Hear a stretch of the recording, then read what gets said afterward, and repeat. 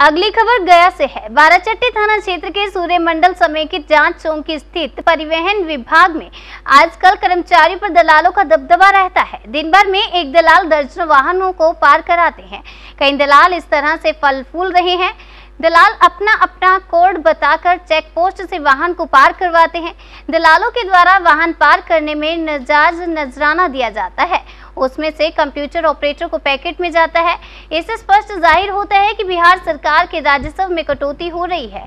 ये सिलसिला कई वर्षों से होता आ रहा है। कई परिवहन मंत्री आए, चले गए, अफसर आए, चले गए, लेकिन स्थिति जस की तस।